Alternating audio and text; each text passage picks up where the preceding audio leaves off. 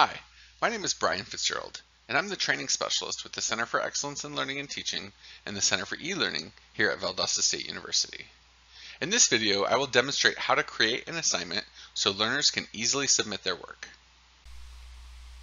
From the navigation bar, select the Assessments tab, and then click on Assignments from the drop-down menu that appears.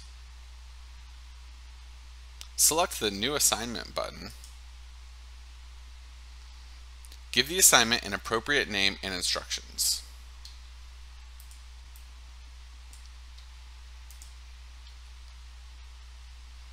Then link the assignment to your gradebook by selecting the Grade Out of button and filling out the number of points for the assignment.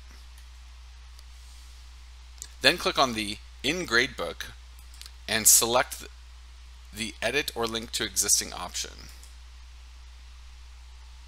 If you've already created the item in your gradebook, you can select Link to an existing grade item, and then find the item from the drop-down menu.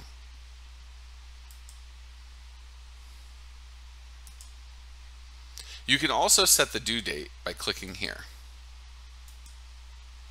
In the availability dates and conditions, you can set a start date, end date, release conditions, and special access. Between the due date and the end date, Students will be able to submit the assignment, but it will be marked late. After the end date, students will no longer have access to the assignment folder. In the Submission and Completion menu, you can specify whether this will be an individual or group assignment. To use a group assignment, you will need to have already set up the groups in advance. If you have not created groups already, you will not have this option available. You can also specify whether the assignment is completed with file submission, a text box, or whether they submitted a physical paper, or even if you observed the assessment in person, like an in-class presentation. In the Evaluation and Feedback menu, you can add a rubric, allow for annotation tools and anonymous marking, plus set up Turnitin integration.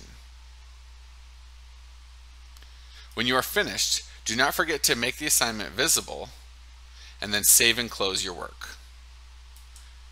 And that is how you can create an assignment so learners can easily submit their work.